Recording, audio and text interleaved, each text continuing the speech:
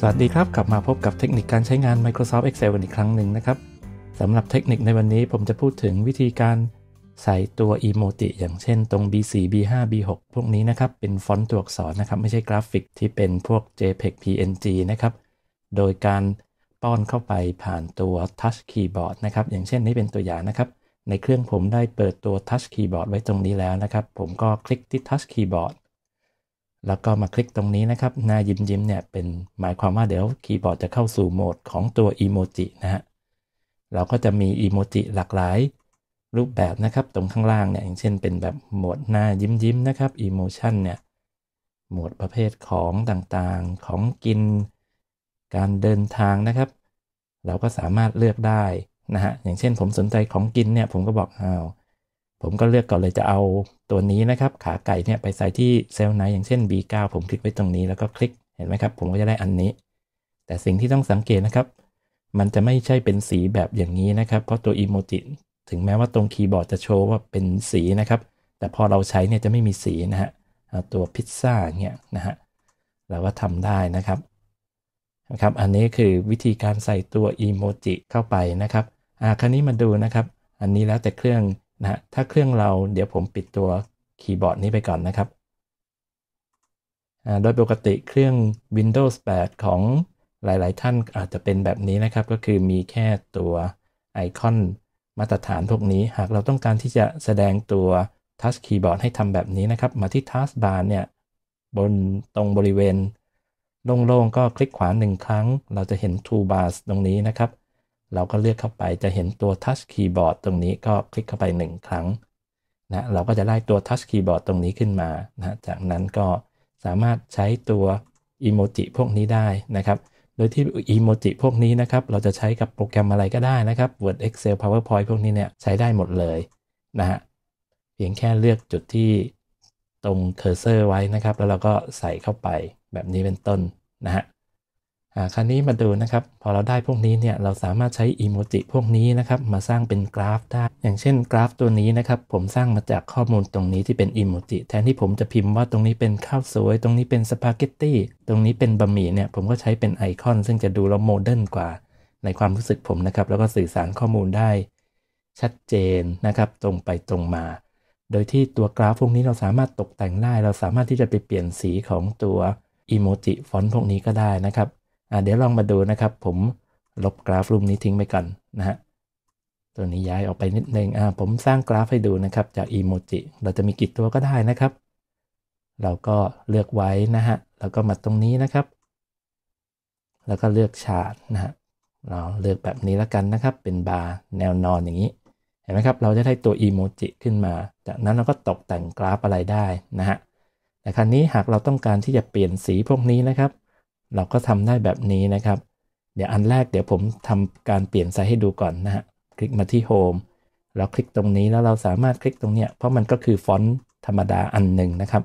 เราสามารถทำให้มันใหญ่เล็กได้นะฮะ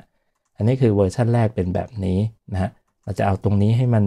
อ้วนขึ้นหรืออะไรเราก็ทำได้นะครับ อย่างเช่นถ้าจะให้อ้วนขึ้นนะครับ เทคนิคที่ผมชอบนะครับ เราอาจจะเลือกตรงกราฟ แล้วก็ คลิกขวามาที่ format data series นะฮะเราตรงนี้นะครับเลือกตรงนี้ตรงแก็บก็ให้น้อยๆหน่อยนะฮะแต่ครั้นี้นะครับหากเราต้องการที่จะเปลี่ยนสีพวกนี้ทำยังไงนะครับ สังเกตนะครับพอผมคลิกอันนี้แล้วผมมาที่ตรงนี้นะครับ เปลี่ยนเป็นสีส้มด้วยอ่าแต่อันนี้มันจะเป็นการเปลี่ยนทุกตัวนะครับ เราจะเปลี่ยนเฉพาะตัวไม่ได้นะด้วยเทคนิคอันนี้เนี่ยนะฮะถ้าเราจะเปลี่ยนเฉพาะตัวให้เป็นแบบกราฟอันนี้นะครับ เราต้องทำแบบนี้นะครับ อันที่1นนะครับ เราก็มาคลิกที่กราฟตรงนี้ไว้ก่อน แล้วก็คลิกเครื่องหมายบวก แล้วมาที่ data label นะฮะ คลิกไป 1 ครั้ง มันจะใส่ data label ซึ่งเป็นค่าของข้อมูลนะครับ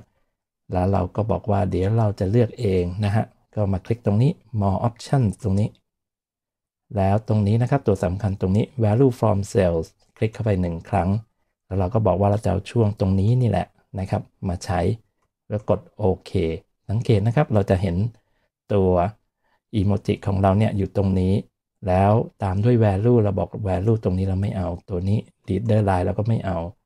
นะฮะการนี้ก็ขึ้นอยู่ว่าเราจะเอาตัว emoji วางไว้ตรงตำแหน่งไหนก็เลือกจากตรงนี้นะครับจะ center นะฮะอยู่ตรงนี้ inside end นะครับ ก็คือปลายกราฟ ถ้าเอามาที่เบสก็แบบนี้นะฮะสมมติผมเอาแบบนี้แล้วกันนะครับ ผมก็ปิดตัวนี้ไปได้ละ ถัดมานะครับผมก็ปรับขนาดนะฮะก็คือมาที่โฮมเนี่ยแล้วก็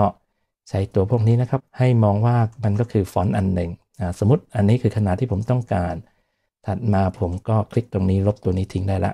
มันซ้ำซ้อน คราวนี้ผมสามารถเปลี่ยนทีละตัวได้แล้วนะครับ มาคลิกหนึ่งครั้งเนี่ยมันจะเป็นการเลือกทั้งหมดนะฮะถ้าผมคลิกอีกครั้งหนึ่งนะครับ จะเลือกเฉพาะตัวนั้น แล้วคราวนี้ผมก็มาเลือกเปลี่ยนสีของฟอนต์ได้นะครับจะเอาสีอะไรก็ได้นะครับ เลือกไปนะฮะ แต่ผมว่าเทคนิคแบบนี้เหมาะสำหรับกราฟที่มีสีอ่อนๆหน่อย อันนี้เดี๋ยวผมเปลี่ยนสีส้มให้เป็นสีอื่นก่อนนะฮะ มาที่ format ตรงนี้แล้วก็ shape fill เนี่ย เอาเป็นสีนี้แล้วกันนะฮะ อ่า แล้วผมก็เปลี่ยนอ้าวสปาเกตตี้คลิกครั้งที่ 1 เลือกทั้งหมด คลิกครั้งที่ 2 เลือกเฉพาะตัวนั้น มาที่ home แล้วก็เปลี่ยนเอาสปาเกตตี้เอาสีนี้แล้วกัน ข้าวสวยนะครับ เราก็เอาเป็นสีนี้สมมติเราก็จะได้กราฟของเราแบบนี้นะครับ อันนี้ก็คือเทคนิคการใช้ตัวนี้นะครับ emoji keyboard เพื่อป้อนค่านะครับ จริงๆแล้วเราสามารถใช้ตรงนี้ก็ได้นะครับ อย่างเช่นตัวนี้เนี่ย เมื่อก่อนเรามักจะคุ้นเคยกับตัวนี้นะครับ insert แล้วก็ symbol นะครับ แล้วเราก็ต้องไปเลือกฟอนต์ของเราเองนะครับ ว่าอันไหนที่มีตัวอีโมจิใช่ไหมครับ อย่างเช่นอันนี้ผมเป็นแบบตัวนี้ล้วกัน Seiko